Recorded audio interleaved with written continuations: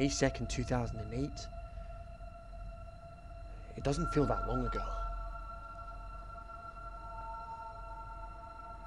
But it's been 11 years since the birth of something special.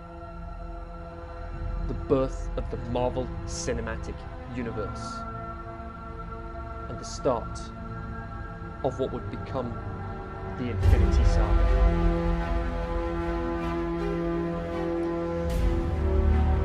And over the next 11 years, we would have 22 more films like this. One epic story that would define a generation in comic book films.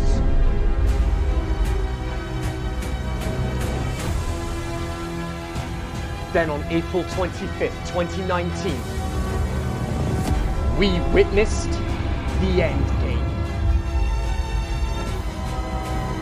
And as the days passed, Endgame continued to break records, ultimately becoming the highest grossing film of all time, surpassing Avatar. Why am I here? I'm here to don the Quantum Realm suit one last time. To watch all the films. Then I will rank them. Which film was the worst? And which film was the best? I'll rank them, whatever it takes.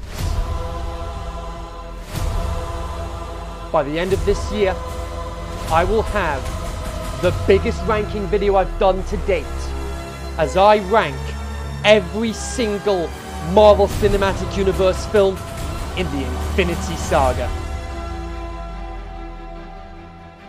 Stay tuned. Because this is the end game.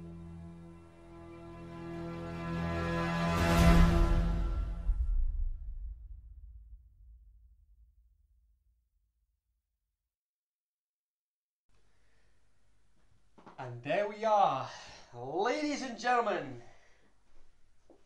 and fellow Marvel and comic book fans.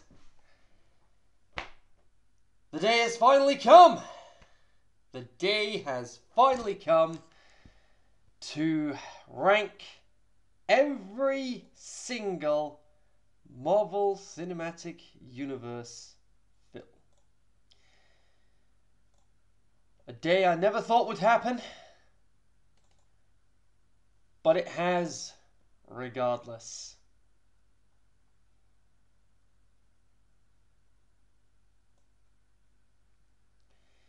So,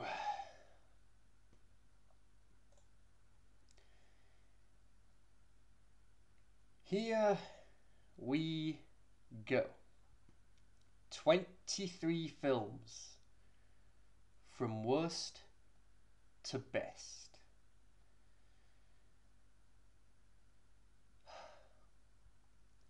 Where do we even begin?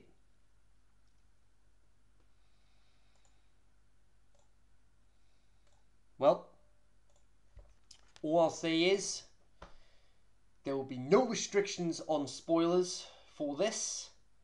So if you haven't seen any of the Marvel Cinematic Universe films, you have been warned. So, 23 films over 11 years. Starting with Iron Man and climaxing with Spider Man Far From Home. Now, at time of recording, the Marvel Cinematic Universe has grossed $22.4 billion at the box office.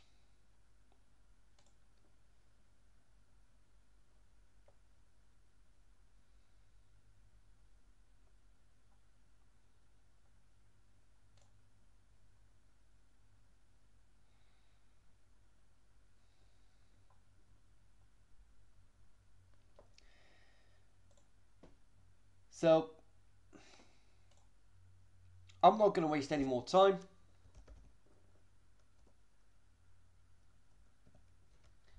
let's get started. I will try and say some good points about the films, even the ones that I rank low. So, here we go.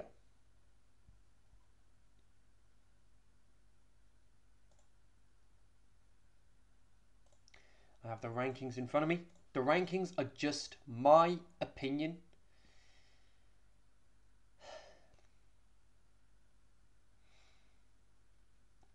And this is also going to be my uh, my last video of the year.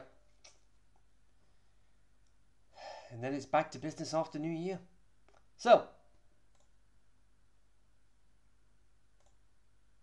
you can let me know what your rankings are in the comments.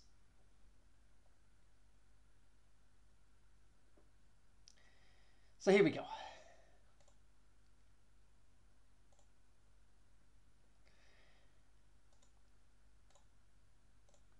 Number 23. It is Thor The Dark World. Now, cliche choice, I know, but a lot of fans have criticized the film.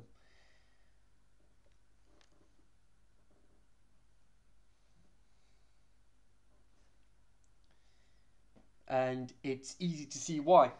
It's easy to see why it is down there as one of, if not the weakest film of the MCU. A 60%, a 66% rating on Rotten Tomatoes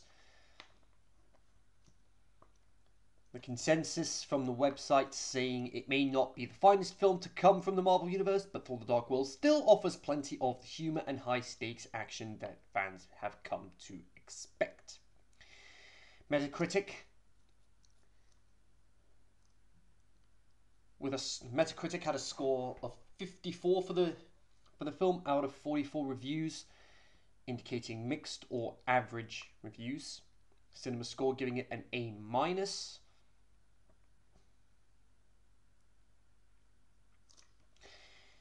Ben Charles from The Guardian. Thanks to Hiddleston and Hemsworth's impressive collective charisma, Thor the Dark World is far from a franchise killer.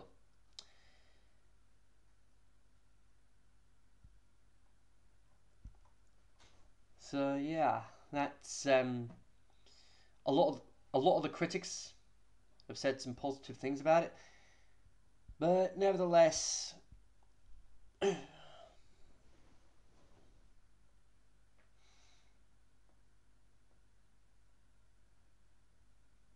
for me,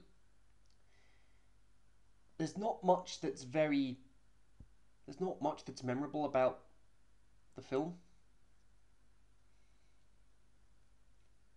But Thor teams up with Loki in this film to save the Nine Realms from the, the Dark Elves, led by the vengeful Malekith, or Malekith, however you pronounce it.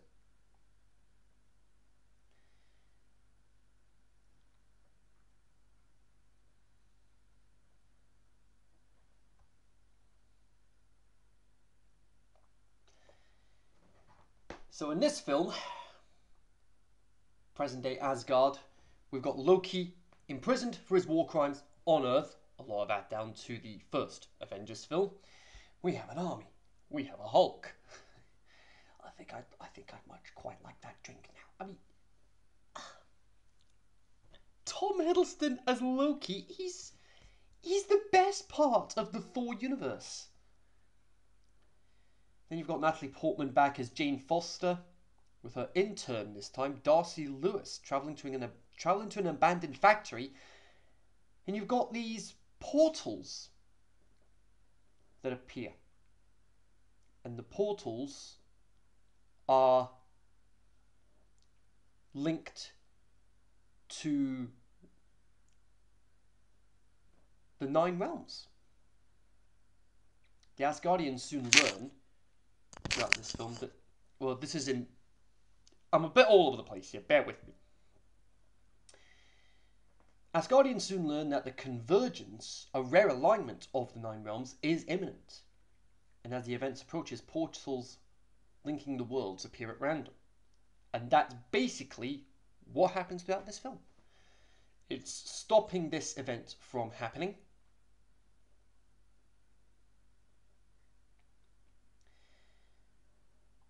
Thor returning to Asgard at the end of the film, declining Odin's off- offer to take the throne, and tells him of Loki's sacrifice. Loki sacrificing himself to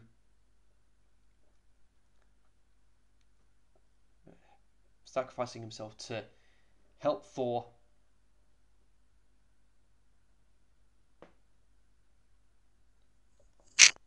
to help Thor save the day.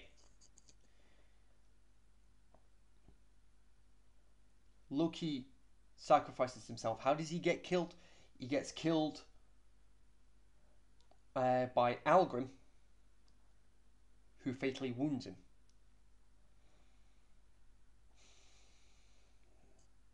Man, that seems tough to stomach.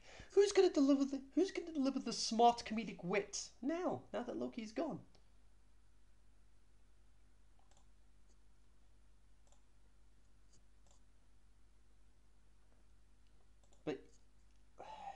Yeah, like I say, there's not much else. There's not much that's really memorable about the film, apart from me going through plot of the film, and that is Thor: The Dark World at number twenty-three. Number 22 now. It's The Incredible Hulk. This is the only one, interestingly, that doesn't have the actor that originally played him in the film as part of the Avengers lineup. Now, how is this Incredible Hulk film connected to the MCU? Iron Man makes a cameo appearance in this film. Because this film came out at the same time, roughly, as the first Iron Man film. June 13th, to be exact.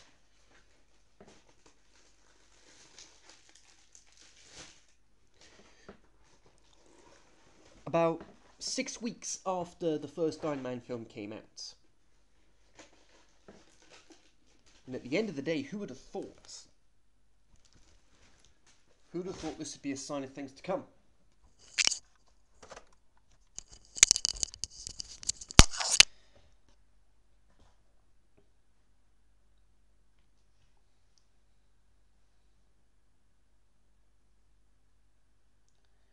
Now, Not sure what, what happened behind the scenes to cause Edward Norton to no longer be able to portray um, Hulk.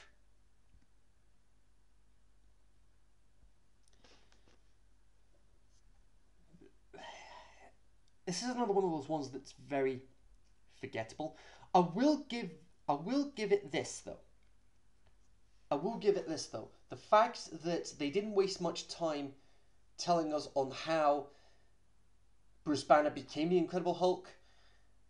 They did that through the type through the um, opening credits, which I will give them credit for. I will give them credit for that. But that's about it. I have to criticize it though because it's one of those cases of um, okay, so that's how it happened.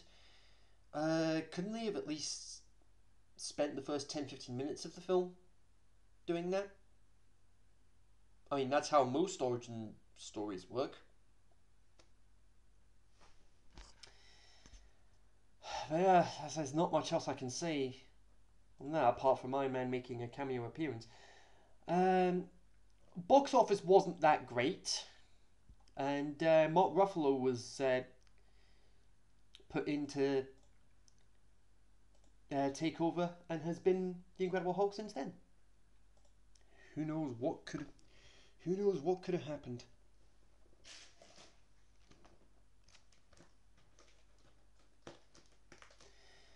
Number 21, Thor. the very first Thor.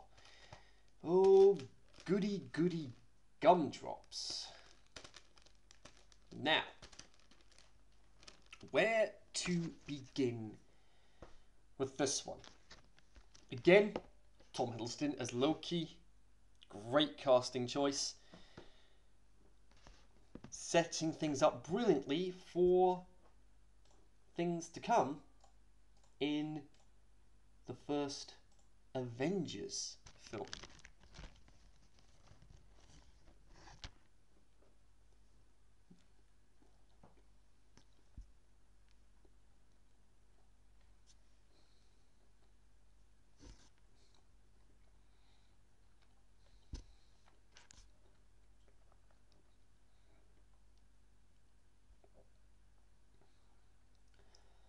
Right. I mean, the only the only scene I can think of that's really memorable about the film is uh, when you've got Thor in when you've got Thor in the coffee shop and he's like, "Oh, oh this is good. What's this?" Uh, Jane Foster's like, "Yada yada, another," and smashes the glass, and you're just like, "It's just brilliant."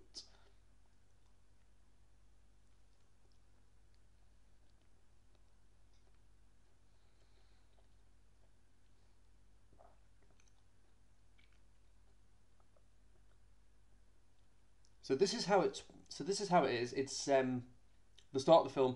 You've got Thor banished to Earth from Asgard, stripped of his powers and his hammer Mjolnir. Mjolnir, sorry. After reigniting a dormant war, as his brother Loki plots to take the Asgardian throne from Odin, Thor must prove him. Thor must prove himself worthy of Mjolnir.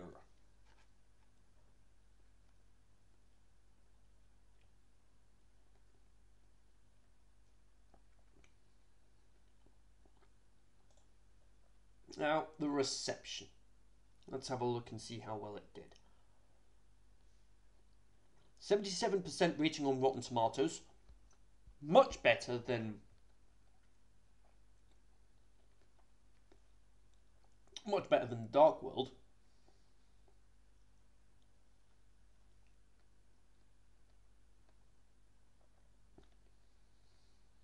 And then you've got you've got um, you've got one critic saying, as far as you've got one of the critics saying, with the can't get my words out. Chris Hemsworth, Chris Hemsworth in the title role. He praised that a lot, saying Thor is the most entertaining superhero debut since the original Spider-Man back in 2002. And who'd have thought we'd who'd have thought we'd have see a sign of things to come?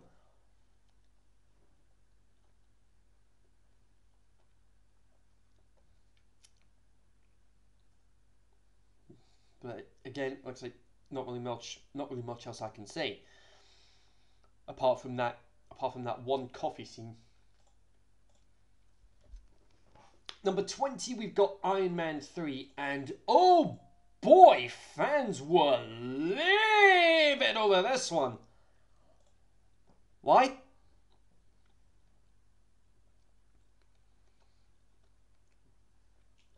Well, you've got Robert Downey Jr. back as Tony Stark, trying to find out who this Mandarin is.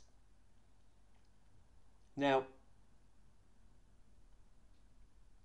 the Mandarin, oh boy, oh boy, oh boy.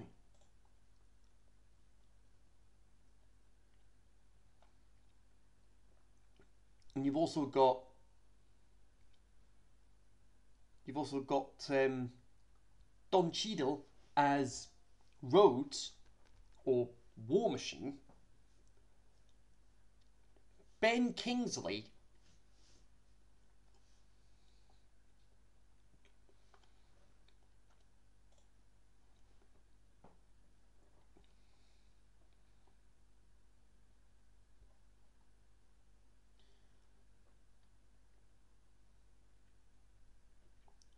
Ben Kingsley as the Mandarin.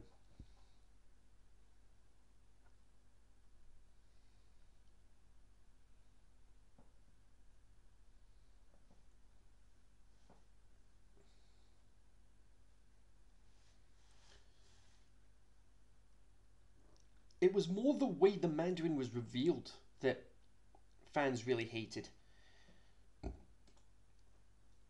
And it's easy to see why. Because that was that was what this whole film was built around. On top of the fact that Stark was suffering from the suffering from PTSD or whatever it was, uh, from what happened in the first Avengers film after trip into space to take out the alien ships to ensure that uh, New York was safe.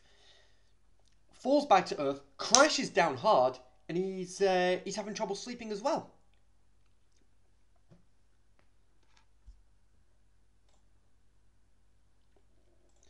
Next up, you've got Iron Man 2, and oh boy. Uh,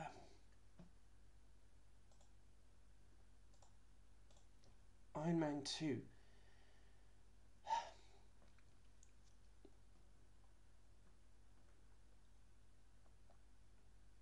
So, this was the third film in what would become the Marvel Cinematic Universe, two years after the first film was released. And here you've got Stark resisting calls by the US government to hand over the Iron Man technology while also combating his declining health in the, from the arc reactor in his chest. then you've got Ivan Vanko developing the same technology and built weapons of his own in order to pursue a vendetta against the Stark family. What is this vendetta? Well,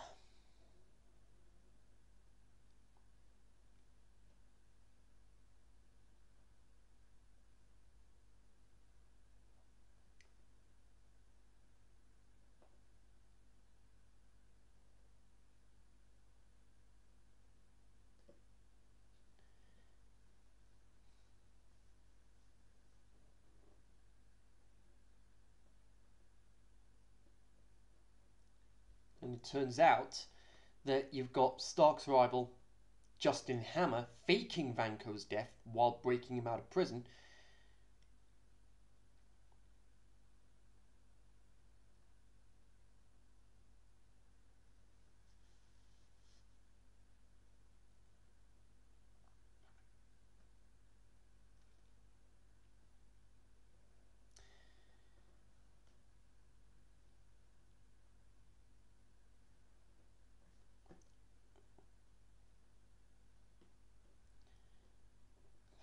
it's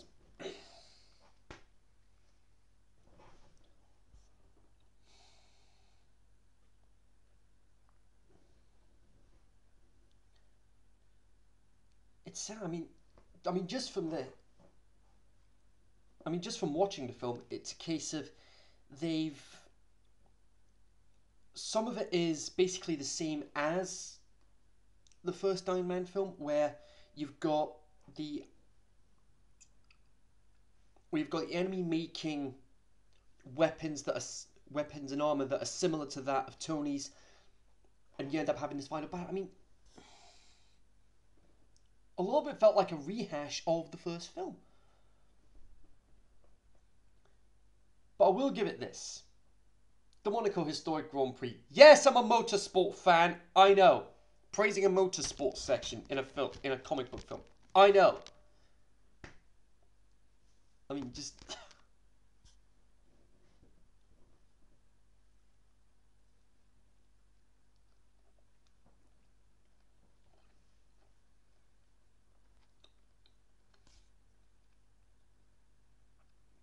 it turns out Vanko's intention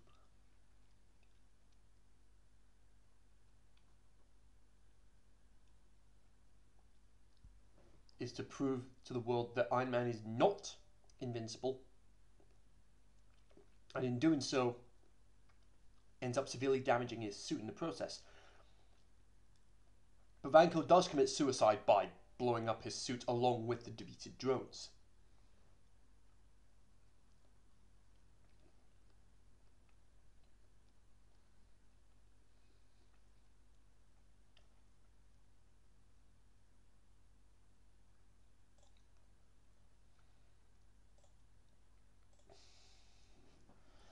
Next up, number 18, we have Age of Ultron. Oh boy. This, I think, was the weakest of all the Avengers films.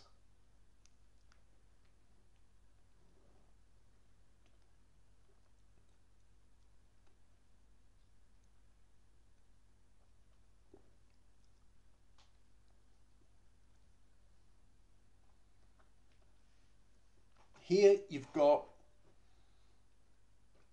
Tony creating Ultron. And after what happens here, it just all falls apart. And Ultron ends up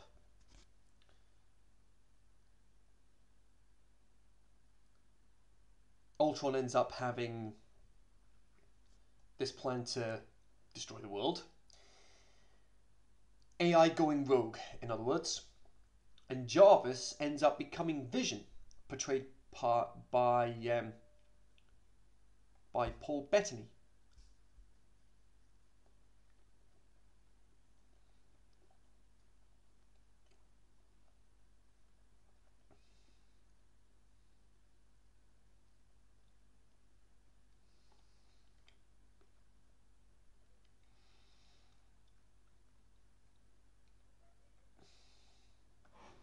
And then during the film, a few of the Avengers have visions of what could end up happening in the future, foreshadowing events in Infinity War and Endgame.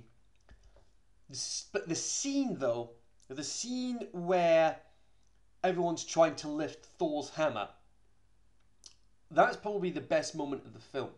On top of the fact that we see the hammer move slightly and Thor's just like, uh oh. But Cap's just like, nah, I'm good. Can't do it.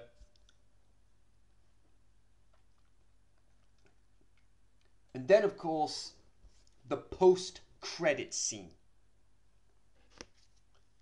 Fine. I'll have to do it myself. Thanos gets the Infinity Gauntlet and starts his hunt for the Infinity Stones.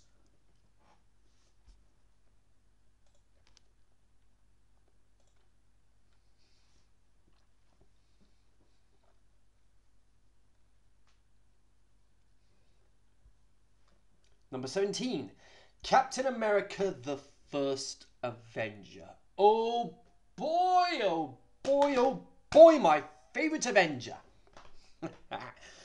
Set before World War II and the first Marvel Cinematic Universe film canonically in the timeline.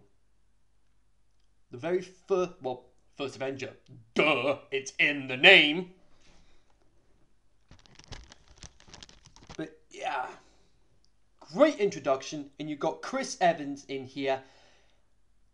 Last seen in superhero films as Johnny Storm or the Human Torch in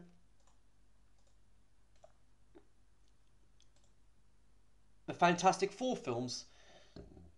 And I'm not including the 2015 reboot because that was horrifically bad.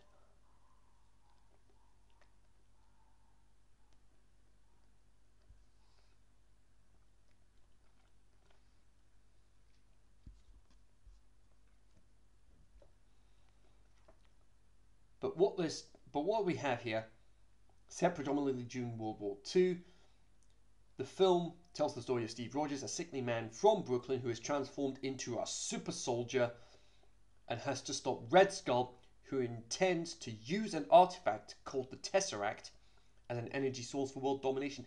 And the Tesseract has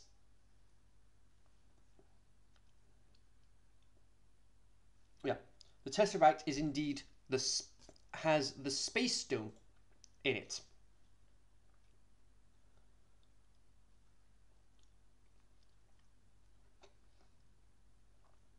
And we find out more about these Infinity Stones as the MCU progresses. A great introduction to Steve Rogers, Chris Evans, back in superhero films where he belongs.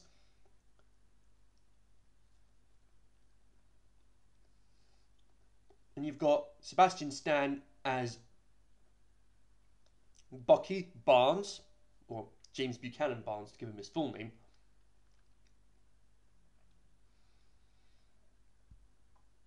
And Hayley Atwell as Peggy Carter, who is Captain America's love interest. Agent Carter even got her own spin off series. I mean, that's brilliant.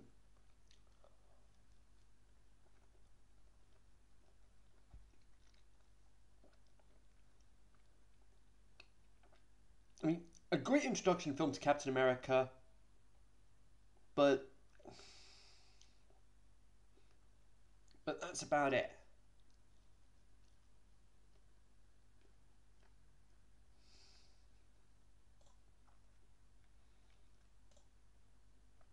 Next up, Ant-Man and the Wasp, number 16. Goodness me, we're almost halfway through the list already. And wow. I had just recovered from the end of Infinity War Marvel, and you pulled this on me! Here you've got Paul Rudd, Scott Lang under house arrest. So that which is a good which does give him a lot more time to spend with his kids. Well, with, with Cassie. Here, we find out more about the quantum realm, which would be a very pivotal part in Avengers Endgame.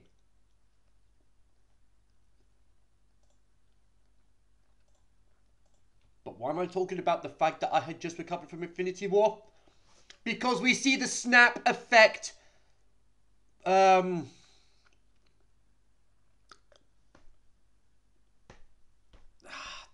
damn it, what's her name again? Hope, Hope and, hang on. We see this effect, Hope,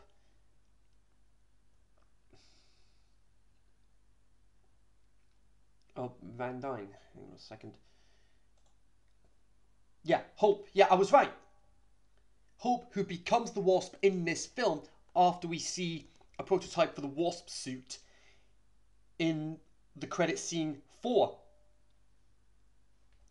the first Ant Man film. Michael Pena as Louis Lewis. Oh, he is. He's brilliant. And he's also. He's. I mean, of course, he has the like cucaracha, like cucaracha, la la la la la la la. Van. We'll just call the like a Karacha van. That'll make it easier for me. We've also got Michelle Pfeiffer as Janet Van Dyne, Hope's mum, no less.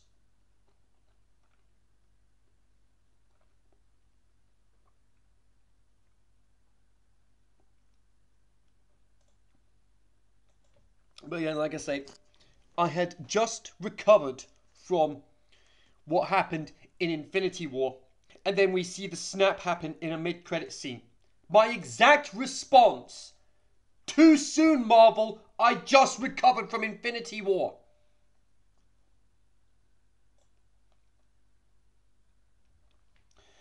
Number 15, Captain Marvel. Oh boy one of the most recent films in the MCU, and the second film in the timeline.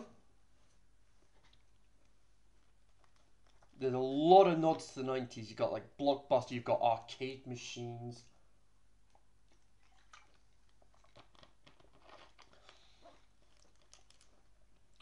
But at the end of Infinity War, we see Captain Marvel's symbol on the distress signal that Nick Fury sends before he turns to dust.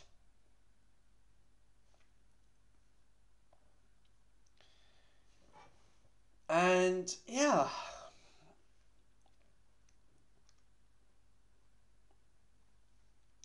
One of the um, mid credit scene is where you see what's left of the Avengers, and the uh, the signal stops trans- transmitting.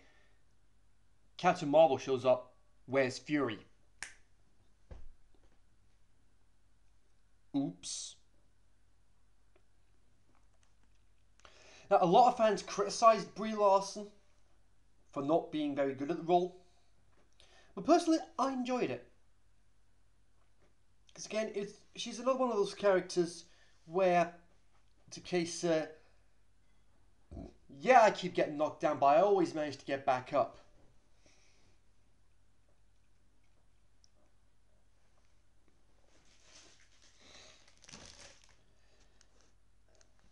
So next, uh, I mean, seeing the two hairstyles that uh, Carol Danvers, to give Captain Marvel her actual name, uh, seeing the two different hairstyles that Brie Larson has, I prefer her with I prefer her with long hair. That's just me. Let a man have his priorities, guys.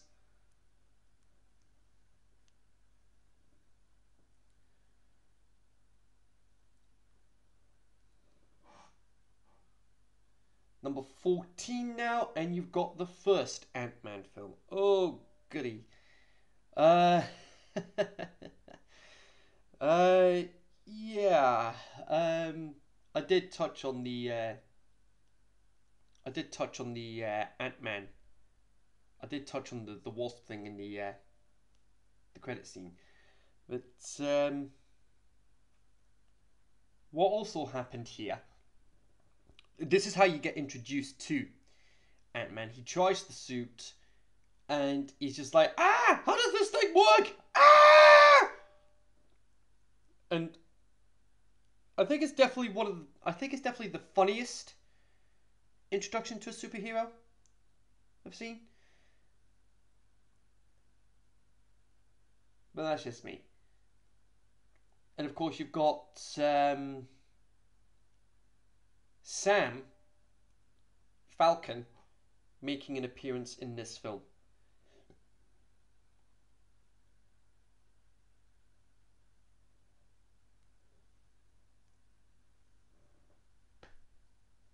Not much else needs to be said beyond that.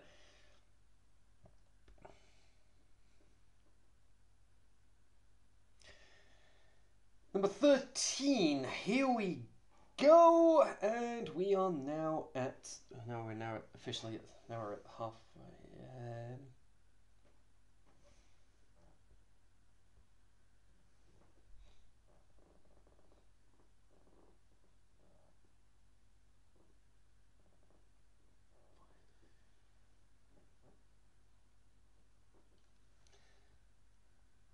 Now we're almost at the halfway point.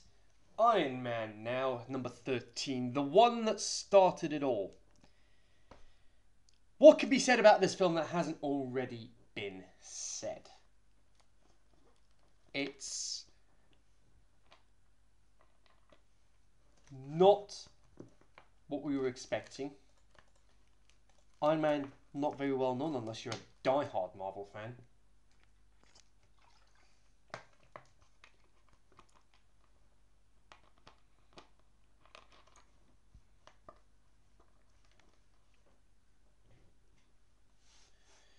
And you had a not very well known actor in the form of Robert Downey Jr. Uh, probably best known for being in Ally McBeal. And that one scene he got to sing with Sting, though, oh, that was such a great scene in the show. I've lost count of how many times I've actually watched that scene. I mean, who knew Robert Downey Jr. Jr. could sing, and sing very well, might I add.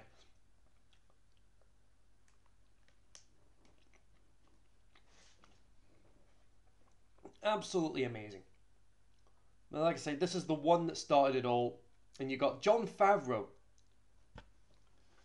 who had directed Elf, and he also directed the live.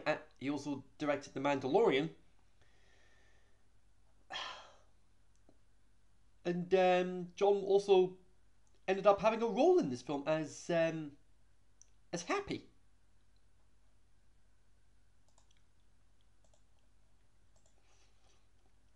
Some of the other films that Jon has directed,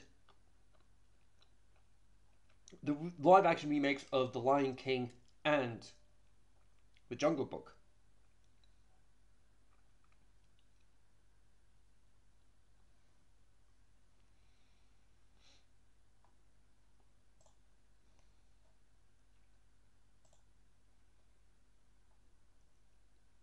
I'm just at a loss for words.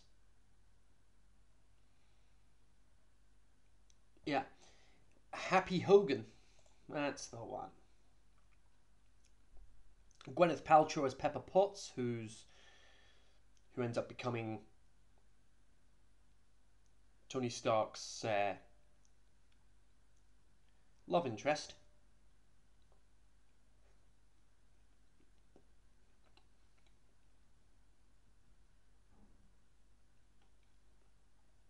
And then, of course, the first post-credit scene in the MCU. I'm here to talk to you about the Avenger Initiative. Need we say more beyond that?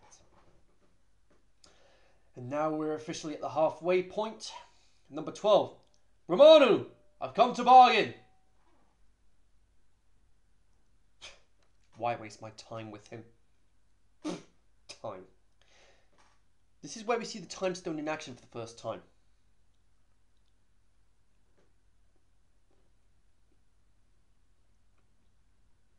Benedict Cumberbatch.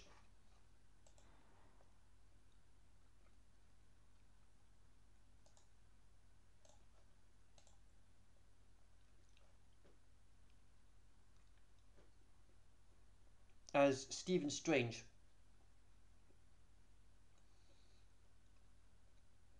and he's playing a doctor, ends up having a career ending car crash, and he ends up learning the mystic arts thanks to help from uh, Tilda Swinton, no less.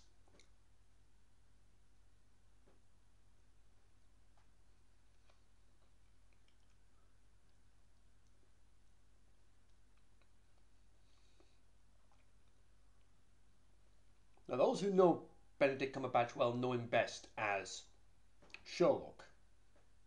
Well, Sherlock comes from the Sherlock TV show on BBC. And the two roles go very hand in hand.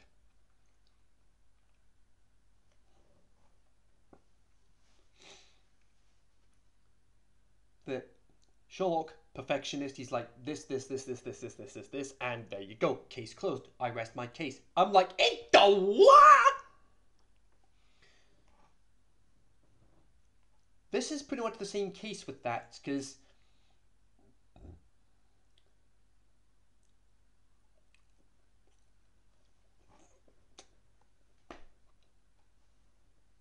literally says it right here. I mean, I was literally just talking about it. He compared to the character. He compared the character to the version of Sherlock Holmes that he portrays in Sherlock, calling both characters intelligent and having smatterings of the same colours.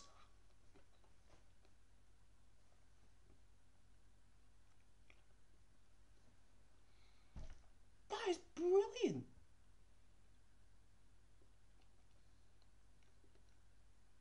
And the Time Stone's name is actually called the Eye of Agamotto and he's also Strange is also aided by the cloak of levitation. Has anyone actually tried Wingardium Leviosa while using the cloak?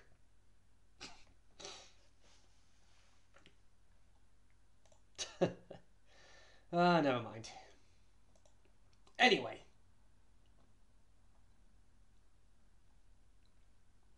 Here we go.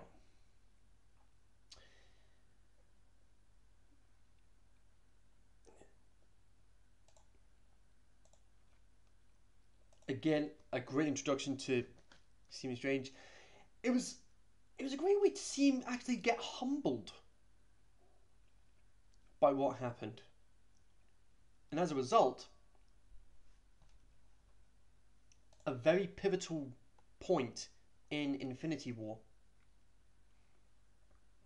But I'll get to that shortly.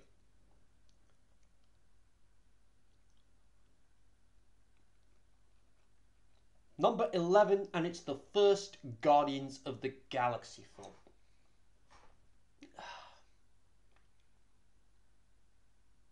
What can I say about this film's soundtrack?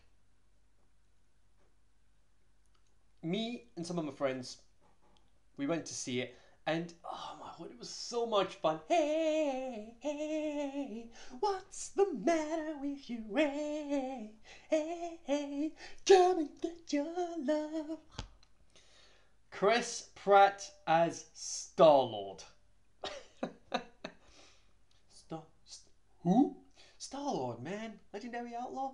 This is just this is just months after being Emmet Brickowski in the Lego Movie, and then ends up becoming a box office juggernaut with Jurassic World the following year. Zoe Saldana, no stranger to playing aliens. Why? Well, no stranger to sci-fi films because she was part of the Star Trek franchise. The reboots, of course, the ones with Chris Pine and Zachary Quinto.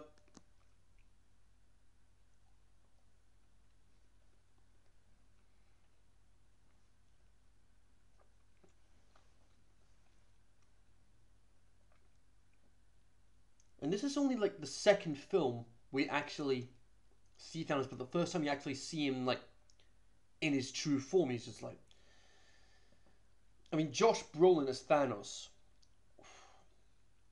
On point.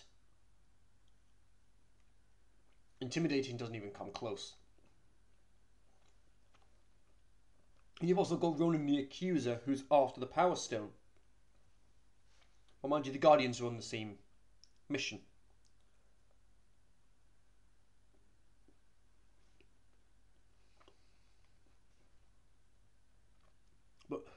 You're mortal! How? Said yourself. We're the Guardians of the Galaxy. And then.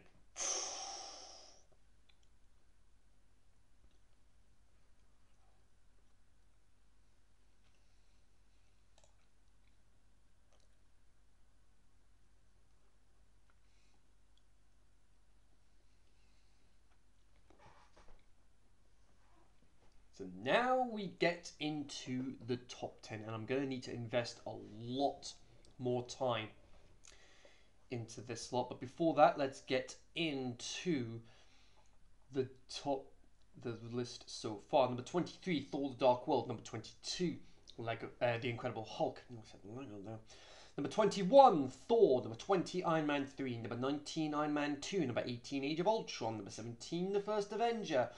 Number 16, Ant-Man and the Wasp. Number 15, Captain Marvel. Number 14, Ant-Man. Number 13, Iron Man. Number 12, Doctor Strange. And number 11, Guardians of the Galaxy. So now, top 10 time. Let's get down to it.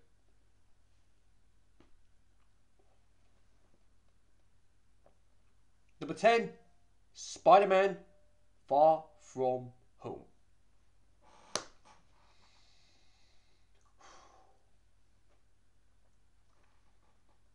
It wasn't until a few weeks after the film came out that I found out that this was the climax of the Infinity Saga, not Avengers Endgame.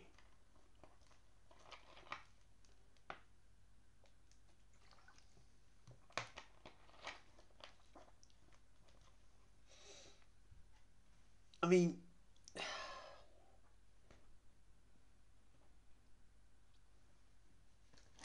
This is all. This is all. This all happened before what happened between Sony and Disney regarding the rights to Spider-Man. We thought well, we're no longer gonna get to see Spider-Man in the MCU, but then Tom Holland actually came in, saved the day. Can't remember how he managed it though, but ah, man, this this is a great encore for the Infinity Saga. And you actually have MJ, played by Zendaya once again. She is amazing! Fresh off the heels of uh, being um, Anne Wheeler in The Greatest Showman. then you've got a mid credit scene where J.K. Simmons as J. Jonah Jameson for the Daily Bugle. Oh my word, that was brilliant! I mean, the screen I was in, it was, it was just applause all round. Cheers and applause when he came up onto the screen. I was just like, that is just absolutely brilliant.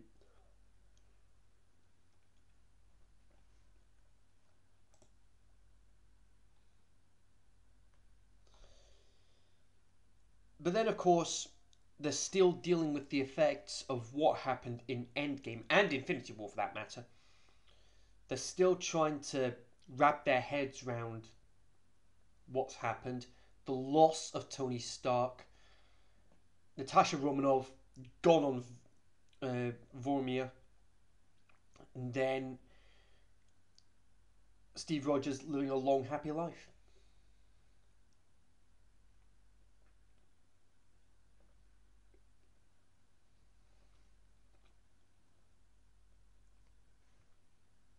It's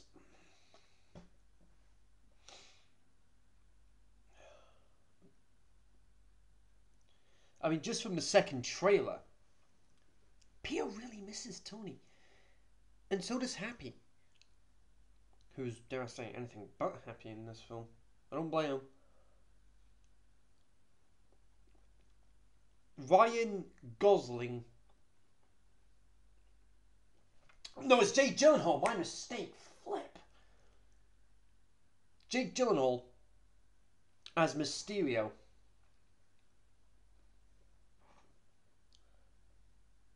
built up so well throughout the film. And in the mid credit scene, reveals the fact that Peter Parker is Spider Man. And we're just like, what the heck? And I was just like, I now want to see what happens after this.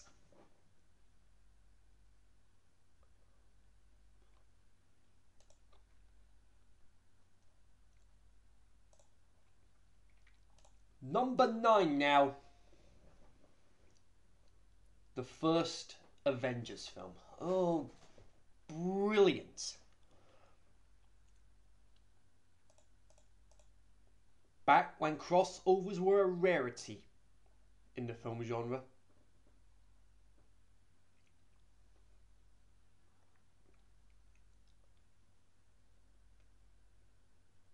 I mean,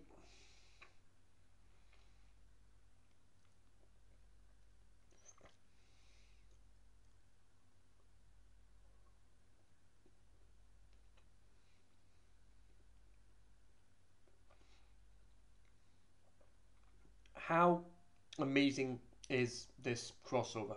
I mean, I'm at a loss for words here.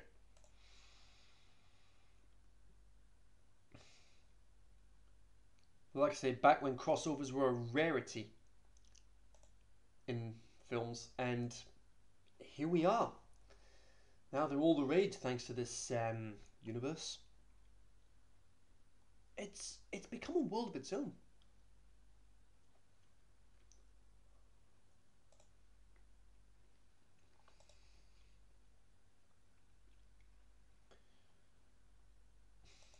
a lot of memorable moments. We see Thanos for the very first time. The great interactions that Loki has with Iron Man. We have an army. We have a Hulk.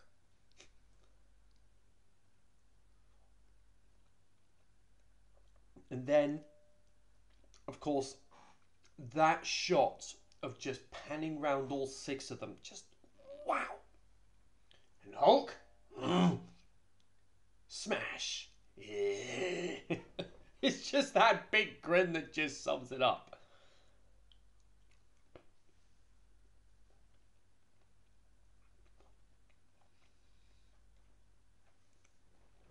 Number eight, Wakanda Forever. Of course, it's Black Panther. First superhero film to receive a nomination Best Picture at the Oscars. I mean, that in itself shows how great this film is. Why? It wasn't afraid to get political. And people compared it to The Lion King, which is interesting.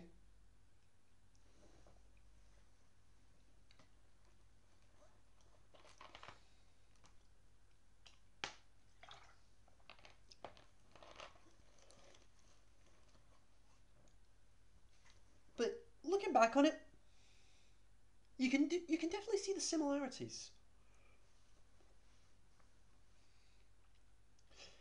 I mean, Michael B. Jordan, fresh off um, filming for Creed and Creed 2, plays Killmonger here. And after besting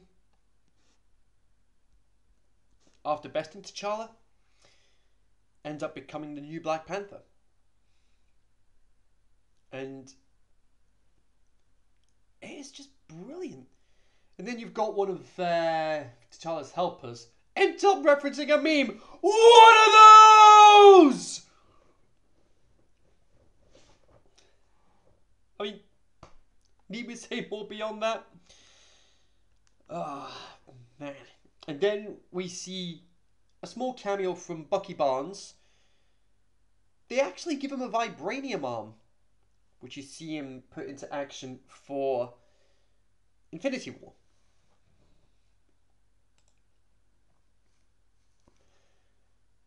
Number seven, Thor Ragnarok. And we're back to Thor. And oh my god, this is so much better than the previous two Thor films.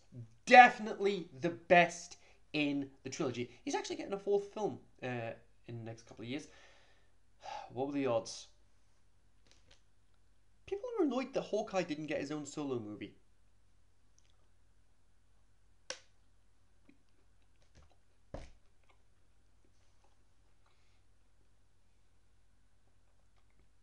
But Loki's back again. How does he keep coming back from the dead?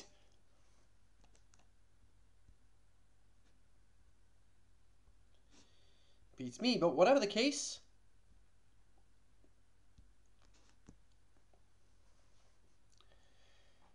You have Thor's sister coming into the fray,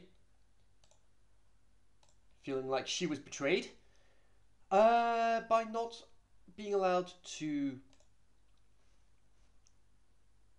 take the throne.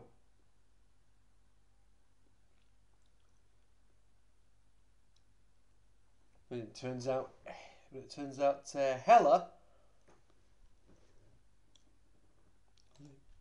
is trying to commence the inevitable Ragnarok, hence the hence the title.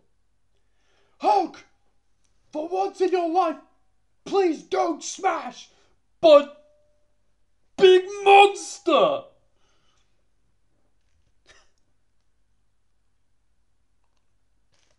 Did I also forget to mention that um, Hulk makes an appearance here? And when Thor sees him for the first time, he's just like, Yes! Unbelievable.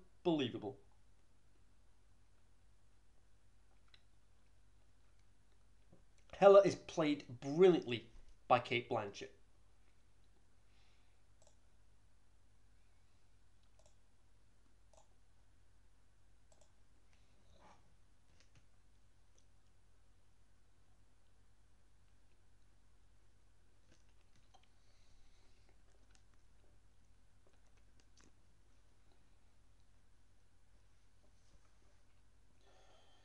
Then, after uh, Mjolnir gets destroyed by Hela, Thor has to harness the power of lightning without the hammer, all while listening to the immigration song. Ah! Ah!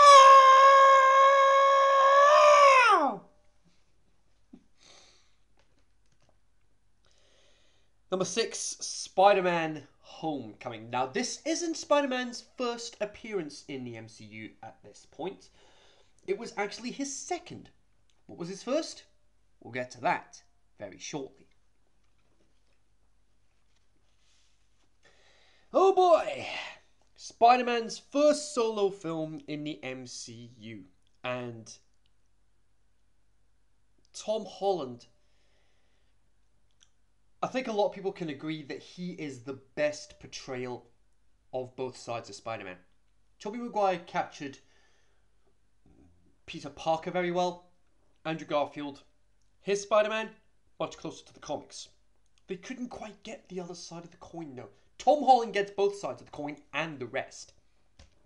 Not to mention the fact they actually managed to recreate one of the most iconic shots in comic book history in this film.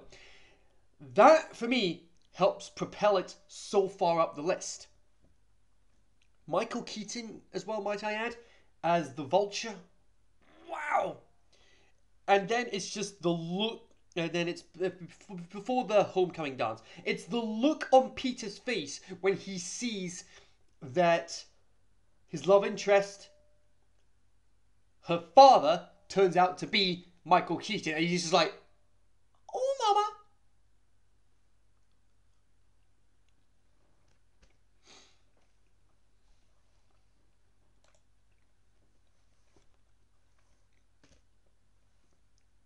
I mean, and then you've got Ned, Pete's best friend. I mean, just wow. The on screen chemistry is just amazing.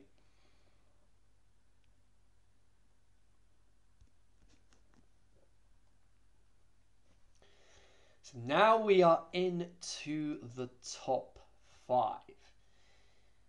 Oh boy, the top five. Captain America once again, and it's the Winter Soldier. So here we go. Why is this just why is this just making it into the top 5? A lot of that is down to the speech that he makes in the film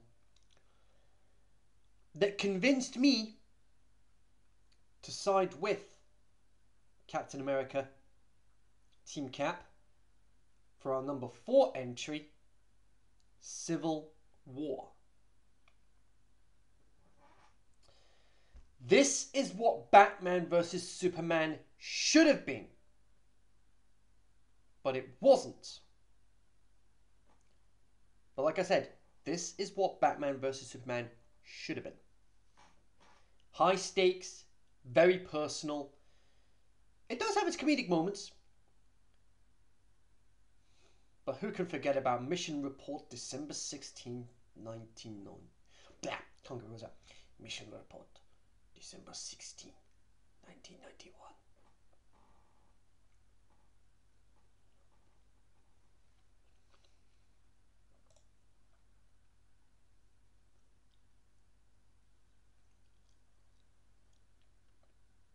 How amazing Civil War is as far as the stakes are concerned. And it's the incident that just basically tears the Avengers apart. Why? Because of the Sokovia Accord. Sokovia Accords. After the events that take place in Age of Ultron, and then an accident in Africa, and this is where we get introduced to Black Panther and Spider Man. All right, I've had enough. To, I've had enough of this. Underoos. and oh my word, Spider-Man suit looks amazing. But like I said, this was this was when we got introduced to Black Panther for the first time. His father gets killed at a United Nations meeting of some sort, and it's just amazing to see how well it was all put together.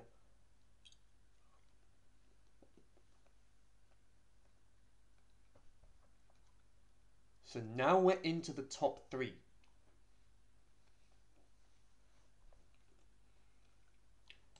We still have two Avengers films and the Guardians of the Galaxy.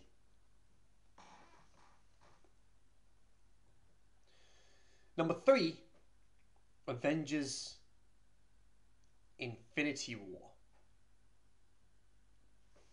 A lot of people have put this one as number one, and it's easy to see why.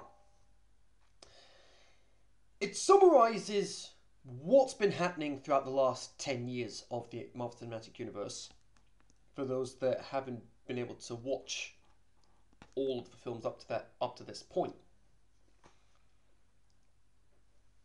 And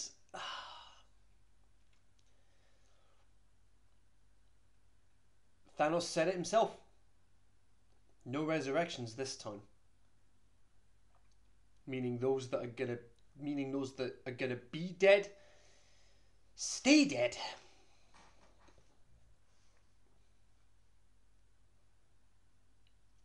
It's just you want to talk about high stakes? They're trying to stop the Avengers are trying to stop Thanos from snapping his fingers and wiping out 50% of the universe. Do they succeed? Hmm, that's what. Well, of course they don't. That's why they. That's why it set up Avengers Endgame so well. One of the rare occasions where the villain actually succeeds.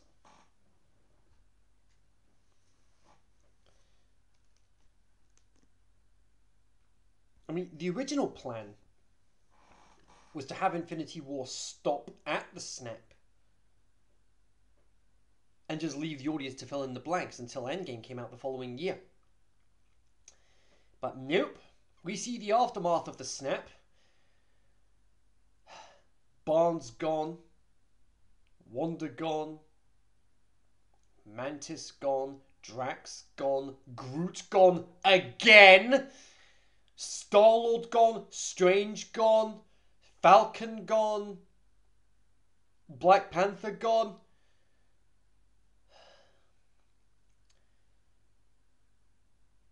And the worst one of all, Spider Man gone. I mean, I was just like, oh, don't do this to me! And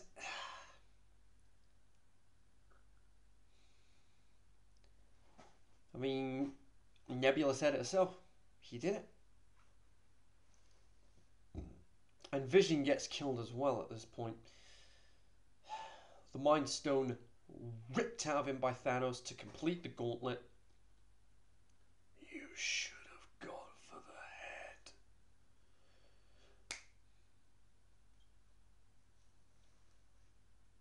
Talk about game changing.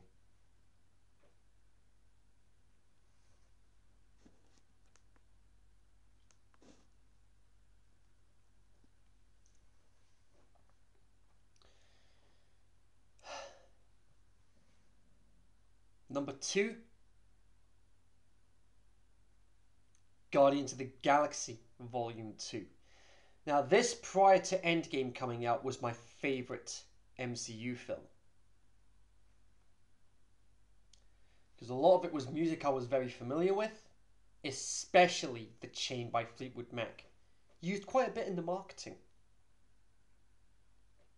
Kurt Russell as Ego, Star Lord's biological father. It broke my heart to put that tumor in her head. Dolly zoom onto Star Lord. What? And then Star Lord is just like pew pew pew pew pew pew pew.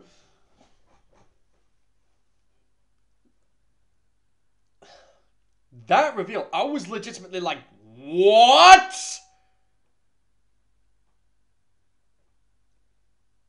And I mean, Star Lord's reactions were pretty much on point. You killed my mother! To find and then Ego, the find the best form that's the form that best suited you, transforming into David Hasselhoff at this point, and this is the thanks that I get. And then it's, like, that's my freaking father! Yondu and Mary Poppins, y'all! oh, what a scene that is.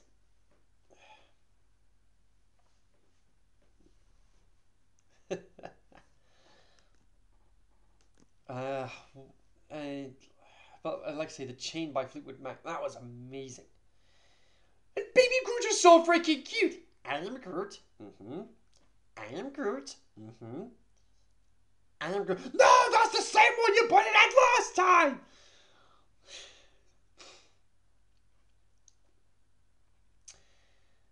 Oh boy. What an amazing, I mean, what an amazing film. But not quite my number one. What is my number one? Well, this is it. This is where we find out.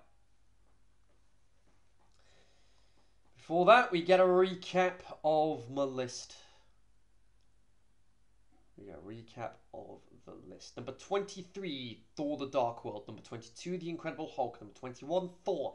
Number 20, Iron Man 3. Number 19, Iron Man 2. Number 18, Avengers Age of Ultron. Number 17, Captain America the First Avenger. Number 16, Ant Man and the Wasp. Number 15, Captain Marvel. Number 14, Ant Man. Number 13, Iron Man. Number 12, Doctor Strange. Number 11, Guardians of the Galaxy. Number 10, Spider Man Far From Home. Number 9, The Avengers. Number 8, Black Panther. Number 7, Thor Ragnarok. Number 6, Spider Man Homecoming. Number 5, Captain America Winter Soldier. Number 4, Captain America Civil War. Number 3, Avengers Infinity War. And number 2, Guardians of the Galaxy Volume 2. Which then leaves number 1, Avengers Endgame. Now, I went into a fair bit of detail in my uh, spoiler free review, which you can see on my channel. But because I'm not because I'm not uh, because I have no restrictions on spoilers for this video. Portal scene where you see everyone coming back Black Panther, Falcon, the Guardians, Doctor Strange, Spider Man. It's just such an iconic moment in storytelling. Once in a generation, you have what that one moment in cinema that defines storytelling. For me, this was it. Captain America lifting Mjolnir. So many callbacks to previous Avengers films, even The Dark World, which uh, fans were not a fan of. That is America's ass, though. I mean, Professor Hulk, I mean, the body of Hulk with the brain of Bruce Banner. I see this as an absolute win! But in the first act, Thanos' head getting chopped off, what did you do? I went for the head. I mean, we just, and I was just like, so what's going to happen now? Because they put, I mean, Marvel put in so much money for the marketing that they didn't tell us. They didn't tell us whether the superheroes were going to be back or not. And with the Quantum Realm suit, that's how I got this. 35 quid each. I got one for one of my friends who was going to be with me. Sadly, couldn't make it due to time constraints. So here I am on my lonesome. But nevertheless, I've persevered, I've pulled through. Hour and 15 minutes later, here we are. So, I will say this though. Fans did criticise the film for being overloaded with fan service. But I saw that as a good thing. Why? Because it helped give those that hadn't been there from the start the chance to be the, to be able to see what these other films were like. Encouraging them to go back and watch the 21 before it and then watch Spider-Man Far From Home afterwards.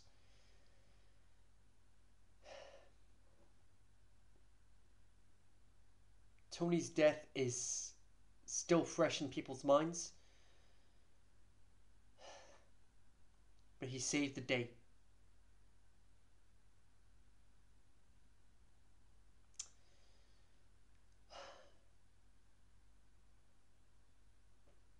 It's for all those reasons that Avengers Endgame is my favourite film in the Infinity Saga.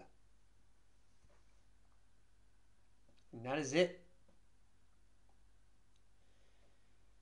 What's going to happen now is I'm going to sign off.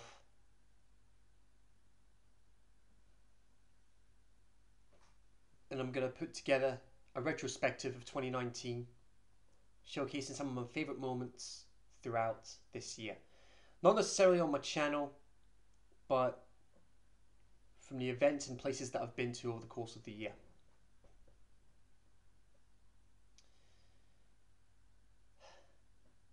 It's been a tough year for me, dealing with the loss of my gran, mental health issues, among other things. But nevertheless, I persevered, I pulled through, and here we are. I've learned that it's okay to not be okay. I've learned that I can face my fears. And there's nothing wrong with being myself. There's nothing wrong with being who I am. Thank you guys so much for being there for me. And also thank you for helping me hit my first big milestone. At time of recording, I'm at 115 subscribers.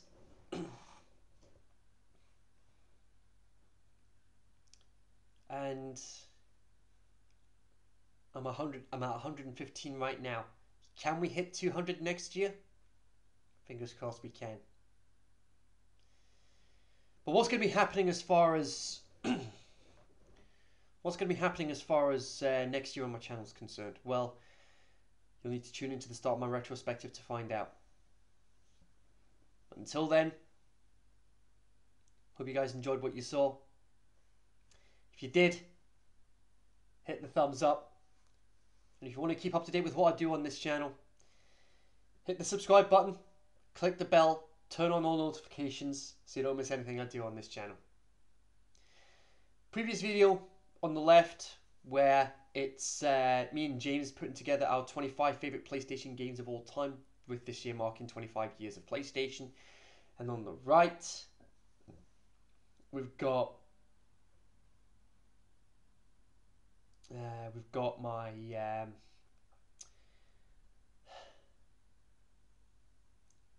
we've got we've got my top tens playlist. I'll be doing a few more top tens over the course of next year. But I guess I'll say you'll need to tune in to find out about all that. And so, with that in mind, thank you so thank you so much for watching, guys. Enjoy the rest of your day. Peace out. And as always, stay faithful.